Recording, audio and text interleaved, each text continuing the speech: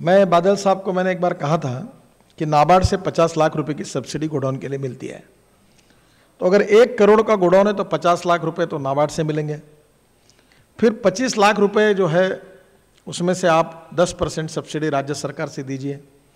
40 percent में से 5 percent किसान को बोलिए कि तेरे ज़मीन पर तो गोडाउन खड़ा करें।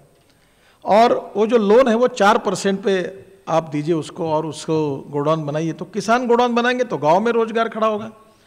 और कोई अगर अपना सौ क्विंटल गेहूँ अगर गोडाउन में रखता है तो एक tri party agreement bank manager, godown मालक और किसान, जिस दिन भाव बढ़ेगा, उस दिन वो बेचेगा, उस दिन वो बैंक पैसे काट लेगी, बाकी पैसे उसको दे देगी। तो ज़रूरत ही नहीं है तो किसान को उसका फ़ायदा भी मिलेगा तेज़ी मंदी का। नया रोज़गार निर्माण होगा। Pre cooling plan cold storage बन सकते हैं। अब ये मैं तो इस मत का हूँ, मुझे मालूम है आप लोग मेरी बात से शायद खुश नहीं होंगे। अगर हमारी सरकार आएगी, हम लोग कर्नाटक में किसान को फ्री ऑफ़ चार्ज पावर दे रहे हैं और शून्य परसेंट इंटरेस्ट से उसके लिए लोन भी दे रहे हैं। मध्य प्रदेश में भी हमने ज़ीरो परसेंट इंटरेस्ट से दे रहे हैं और छत्तीसगढ़ में भी हम वन परसेंट इंटरेस्ट और हमने सब्सिडी दी है पावर रेट पर। देखिए, किसान ज़िंदा रहेगा तो आपका धंधा चलेगा। गाँव के लोगों की परचेसिंग पावर अगर समाप्त हुई तो आपने इंडस्ट्री में, तैयार किए हुए प्रोडक्ट को आपको अगर ग्राहक कहाँ से मिलेगा? वहाँ तो परचेसिंग पावर खत्म हो रही है। और इसलिए जब तक एग्रीकल्चर और रूरल इकोनॉमी को हम बूस्ट नहीं करेंगे तब तक ये संभव नहीं है। आज पावर सेक्टर की चर्चा हो रही है। न्यूक्लियर पावर की बात आई।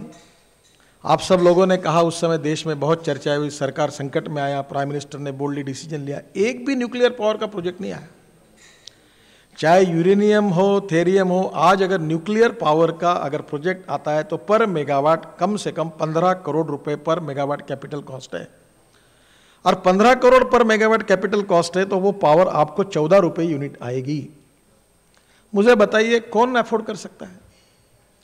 आज ऐसी स्थिति है कि हमारे देश में, आज अखबार में आया कि कोल माइन कैंसिल करना है। करो कैंसिल क्यों? तो इन्होंने काम नहीं शुरू किया। कैसे काम शुरू करोगे? मगर मैंने अगर आपको कहा कि आपको किताब लिखनी है, लिखो। आपका चश्मा ले लिया, आपका पेन निकाल लिया, लाइट बुझा दिया, अंधेरा करा दिया और पूछा, आपने आपने किताब क्यों नहीं लिखा? कैसे लिखोगे आप? कोई लैंड है लैंड एक्विजिशन के लिए कोर्ट में केस, फॉरेस्ट इन्वायरमेंट का क्लियरेंस नहीं, और सरकार का ग्रीन, क्या, उसका भी कोई सिग्नल नहीं आगे जाने का। आपके हाथ बाँध दिए, आपके पैर बाँध दिए और आपको बोला, आपने शुरू नहीं किया, आपकी कैंसिल कैसे होगा? देश का जो टोटल एटमॉस्फेयर ही ऐसा हुआ है कि कोई किसी पर विश्वास नहीं रख रहा और सब एक दूसरे के बंद करने के पीछे लगे हुए हैं। और फिर बेरोजगारी बढ़ेगी तो नहीं बढ़ेगी। इसलिए मैं, आज पावर सेक्टर में हालत ऐसी है कि हमारे पास पावर शॉर्टेज है। आप बहुत अच्छे कि आपको यहाँ 24 घंटा पावर दिल्ली में, मुंबई में मिलती है। हमारे यहाँ गाँवों में आठ घंटे, दस घंटे, बारह घंटे लोड शेडिंग चल रहा है। आपके लड़के इंजीनियर बन सकते हैं, डॉक्टर बन सकते हैं, पर गाँव के लड़के अध्ययन नहीं कर सकते अब गाँव पावर में भी एक अच्छा है, आपने कभी स्टडी किया? तो स्टेट गवर्नमेंट के पास जनरेशन कंपनी बनी डिस्ट्रीब्यूशन कंपनी बनी और ट्रांसमिशन कंपनी बनी। जनरेशन कंपनी पावर जनरेट कर रही है और डिस्ट्रीब्यूशन कंपनी पावर बेच रही है। तो डिस्ट्रीब्यूशन कंपनी सब राज्यों में ऐसी है कि जिसको आठ आठ हज़ार करोड़ सात सात हज़ार करोड़ का घाटा है, क्योंकि चालीस परसेंट पावर की चोरी होती है, पता ही नहीं चलता कहाँ जाती अब वो पावर जो होती है, वो लॉस मेकिंग है, वो जनरेशन कंपनी को पैसे नहीं देते तो वो बोलते हम घाटे में कैसे चलाएँ? तो उन्होंने बहुत अच्छा पॉलिसी डिसीज़न बहुत से सरकारों ने स्वीकार किया। मोर जनरेशन मोर लॉसेस तो गुड सॉल्यूशन ये है कि नो जनरेशन नो लॉसेस अगर पावर जनरेशन नहीं होगी तो कहाँ जाएँगे? अच्छा प्राइवेट में, मध्य प्रदेश में ही, शासन में, एक रिलायंस ने एक पावर प्रोजेक्ट लिया है 2000 मेगावाट पावर अभी उनका 600 का शुरू हो रहा है। एक रुपया उन्नीस पैसे के भाव से वो पावर मध्य प्रदेश सरकार को दे रहे हैं। तो मैंने हमारे चीफ मिनिस्टर को एक बार समझाया कि ये 2000 मेगावाट अगर छः महीने पहले तुमको मिलती है तो तुम्हारा कितने करोड़ों का फ़ायदा होगा? तुम वॉर फुटिंग पर इसको पूरा करो। और एक रुपये उन्नीस पैसे की पावर आप इंडस्ट्री को पाँच, साढ़े पाँच छः रुपये में लोगों को कमर्शियली बेचो। और ये जो प्रॉफिट मिलेगा, इसमें बीच में से जो दो ट्यूब और एक पंखा चलाने वाले गरीब लोग, किसान हैं, उनको फ्री ऑफ़ चार्ज बैठवा दो। कोई नुकसान तो सरकार के पैसे से नहीं होगा। अगर चोरी भी रोकी तो भी वहाँ कम पावर जाएगी।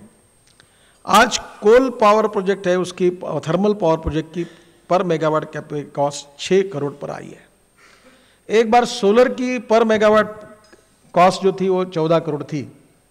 अब लेटेस्ट मेरी जानकारी ये है कि साढ़े छः रुपये तक कॉस्ट आई है। तो आप सोलर पावर अगर सेवन करोड़ पर कैपिटल पर मेगावाट अगर उसकी कैपिटल कॉस्ट है तो ये पंद्रह करोड़ की न्यूक्लियर पावर लाने का, पावर पावर है। और इसलिए धीरे धीरे सरकार को पावर के बारे में ग्रीन पावर की ओर जाना होगा। अभी ये हिंदुस्तान की जो कंपनी है विंड पावर में काम करती है सुजलॉ इन्होंने एक जर्मन कंपनी को ओन किया है। उस जर्मन कंपनी के पास टेक्नोलॉजी है कि समुद्र के अंदर 30 नॉटिकल मील अंदर जाकर वो 6 मेगावाट की विंड मिल खड़ी करते हैं और उससे पावर मिल सकती है। तो मुझे लगता है कि जो नए ऑप्शंस है ग्रीन पावर बायोमास से पावर बन सकती है। अभी मैं एनर्जी क्रॉप्स तैयार करता हूँ और उससे पावर जनरेट करता हूँ। तो मुझे लगता है कि धीरे धीरे हमको ये ethics economy ecology and environment ये तीन फैक्टर हर देश के लिए महत्वपूर्ण है। इकोनॉमी को बूस्ट करना है, पर इकोलॉजी और इन्वायरमेंट की भी चिंता करनी होगी। और इसलिए मुझे ऐसा लगता है कि आज ग्रीन पावर को हाईएस्ट प्रायोरिटी देनी चाहिए और वो हम तैयार कर सकते हैं। न्यूक्लियर पावर तो आएगी नहीं। आप लिख लो मेरे से। क्योंकि 15 करोड़ कर मेगावाट कैपिटल कॉस्ट में कौन खरीदेगा? आप खरीदेगा कौन? करोगे नहीं। और पावर सेक्टर में आज स्थिति ऐसी है कि हमको सरप्लस पावर खड़ी करनी होगी। इंफ्रास्ट्रक्चर को हाईएस्ट प्रायोरिटी देनी होगी। हमारे जो फॉरेन एक्सचेंज रिज़र्व में हमको और मजबूती अटल जी के समय जो स्थिति थी वो लानी पड़ेगी। हमारे इंपोर्ट को कम करना होगा। और इंडस्ट्री डेवलपमेंट के लिए industry development free atmosphere create करना होगा। आज माइंड सेटअप खराब हो गया। और इसके दो इंपॉर्टेंट कारण हैं। ये सरकारें जितनी अड़चन में आ रही है, इसके दो कारण हैं। एक, जो पॉलिसी मेकिंग है, उसमें फॉल्ट है। और दूसरा लेजिस्लेशन में फॉल्ट है। जो पॉलिसी मेकिंग और लेजिस्लेशन में जो फॉल्ट है, उसके कारण ट्रांसपेरेंसी नहीं है। Time bound result oriented approach नहीं है। निर्णय नहीं होते डिसीजंस नहीं होते हैं। और उसके साथ साथ डेवलपमेंट ओरिएंटेड अप्रोच नहीं है। अब मुझे लगता है ऐसे स्थिति में हमारे देश की इंडस्ट्री हमारे पास पोटेंशियल होने के बाद भी हम पीछे जा रहे हैं। जो हमारी पार्टी की ओर से हमने सोचा है कि हम ये गवर्नेंस जो है, इसके ऊपर हम विशेष रूप से ध्यान देंगे। मुझे बहुत पसंद आया। आपने प्रोग्रेस हारमोनी और डेवलपमेंट कहा। हमने पाँच प्रिंसिपल चुने हैं। नेशनलिज्म राष्ट्रवाद ये हमारा स्पिरिट है, आत्मा है। Good economic governance with the help of e governance and development ये हमारा मिशन है। और दीनदयाल उपाध्याय जी का जो सोशियो इकोनॉमिक थिंकिंग था the progress of the last man of the society who is socially economically educationally backward Antyodaya ये हमारा socio economic thinking है। और सोशल हार्मनी जात, पंथ, धर्म, भाषा सेक्स किसी डिस्क्रिमिनेट न करते हुए हम सबको समान अधिकार और समान मौका देकर देश का विकास करेंगे। और पांचवी बात इंटरनल एंड एक्सटर्नल सिक्योरिटी ये पाँच बातों को हमने हमारे यहाँ प्राधान्य दिया और मुझे खुशी हुई कि आपने भी वो पीएचडी का अर्थ प्रोग्रेस हार्मोनी एंड डेवलपमेंट तीन बातें हमारी आई है। अभी हमने ई गवर्नेंस के ऊपर 400 लोगों की कॉन्फ्रेंस मुंबई में ली थी और 250 करीब हमारे एक्सपर्ट अभी काम कर रहे हैं अलग अलग फ़ील्ड में। और हम ये तैयारी कर रहे हैं कि इंडिया विजन फॉर 2025 बहुत से लोग हैं बीच में, गोपाल जी बैठे, इन्होंने चार्टर अकाउंटेंट लोगों को बुलाया था और एक दिन दिन भर की कॉन्फ्रेंस हुई। मैं कनाडा में गया था। सबसे माइनिंग पॉलिसी अगर अच्छी है तो कनाडा कैनेडियन सरकार की है। तो मैंने उनको कहा कि वो इंटरनेट से बुलाओ। पॉलिसी ट्रांसपेरेंट चाहिए result oriented and time bound चाहिए, और एक तरफ़ से एक बार परमिशन देने के बाद इंडस्ट्री को काम करते हुए, नहीं तो आपका समय तो ये ब्यूरोक्रेसी के पीछे ही घूमते हुए जाता है। और यहाँ हिंदुस्तान में अच्छा कोई आपको काम करो मत, नहीं कहते। तो काम बंद करो। और नहीं बाकी तो मीडिया आ जाएगी, ये ऐसा हुआ, बंद करो इसका काम, लगाओ सीबीआई करो इंक्वायरी यानी ऐसा विचित्र एटमॉस्फेयर हुआ है कि अगर इस देश में कैपिटल इन्वेस्टमेंट नहीं आएगी इंडस्ट्री नहीं बढ़ेगी तो रोज़गार कैसे निर्माण होगा? अगर रोज़गार नहीं होगा तो पर कैपिटा इनकम कैसे बढ़ेगा? और ये बहुत ही एक विशेष सर्कल में हम फंसे हुए हैं। हमको इससे बाहर निकलना है। और इसलिए डेवलपमेंट के लिए एक अच्छा एटमॉस्फेयर देश में हमको क्रिएट करना होगा। एफ़ डी एंड रिटेल यही एक कोई इकोनॉमिक सुधार का एक ही मार्ग है क्या? हमारे उसमें कुछ रिजर्वेशन है। और इसलिए हमने उसका विरोध किया। आपकी बात का मैं सम्मान करता हूँ। आपका अधिकार है बोलने का।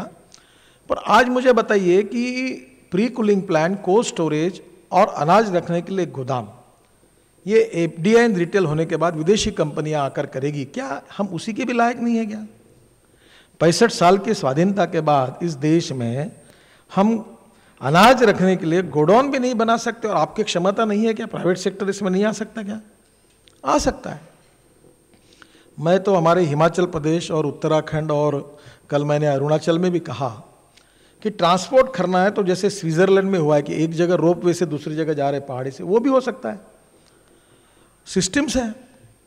और मुझे लगता है कि आज के इसमें हम रेलवे में, रोड में, एविएशन में पब्लिक प्राइवेट इन्वेस्टमेंट को उपयोग कर सकते हैं। मैं तो आपको बताता हूँ कि मैंने एक स्टडी किया था। उदाहरण के उदाहरण के लिए बता रहा हूँ।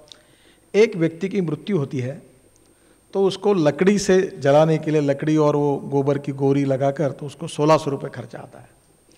उसको इलेक्ट्रिक से जला जाएगा तो अभी साढ़े नौ सौ रुपये खर्चा आता है। और डीजल से जला जाएगा तो उसको साढ़े ग्यारह सौ रुपये खर्चा आता है।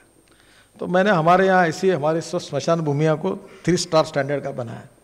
और मैंने कहा, हिंदुओं को बुलाओ, उनको कहो कि पंद्रह सौ रुपये पर हेड ले। तो उसका इंटरनल रेट ऑफ़ रिटर्न चौदह के ऊपर आया। तो एक चैरिटेबल ट्रस्ट को सौंप दो। जितना सरकार समाज को सौंप देगा, उतना अच्छा है। और एक आदमी जब उसकी मृत्यु होती है तो एक पेड़ जलता है। अगर वो इलेक्ट्रिक पर होगा तो और अच्छा है, पर लोगों की श्रद्धा की बात आती है। तो मुझे लगता है कि in each and every field education हम लोगों ने तय किया है कि जितनी इंडस्ट्री है, वो अपना एजुकेशन इंस्टीट्यूशन के नॉर्म्स को पूरा करे और पंद्रह दिन में ITI engineering college polytechnic college कुछ का शुरू कर दे। विल ये होटल है, ये हॉस्पिटलिटी का कॉलेज खोल दे। ओपनली परमिशन दे दो। Vocational or professional and technical education diversification of education towards vocational professional and technical education is the need of the country उसमें एम्प्लॉयमेंट है टूरिज़्म ऐसा फ़ील्ड है इतना पोटेंशियल है इतना सुंदर अरुणाचल प्रदेश नागालैंड मैं देश में जाता हूँ और हम साउथ अफ्रीका में गए मसे मारा में बहुत इंडियंस मिलते हैं एक भी पेड़ नहीं वहाँ हमारे यहाँ इतना अच्छे अच्छे फॉरेस्ट है और फॉरेस्ट वाला बोलता है यहाँ होटल नहीं बनाएँगे मोटेल नहीं बनाएँगे, रोड नहीं करने देंगे। तो जो बड़े लोग जाना चाहते हैं, उनकी गाड़ी नहीं जाती, उनको होटल नहीं मिलता, उनको खाने को नहीं मिलता तो एम्प्लॉयमेंट नहीं मिलेगा। हमारे नागपुर के पास एक कर्माजरी करके मध्य प्रदेश का फॉरेस्ट इतना सुंदर है वाइल्ड लाइफ है वहाँ। मैंने उसका सोशो इकोनॉमिक इम्पैक्ट स्टडी किया। पाँच हज़ार आदिवासी बच्चों को काम मिला है।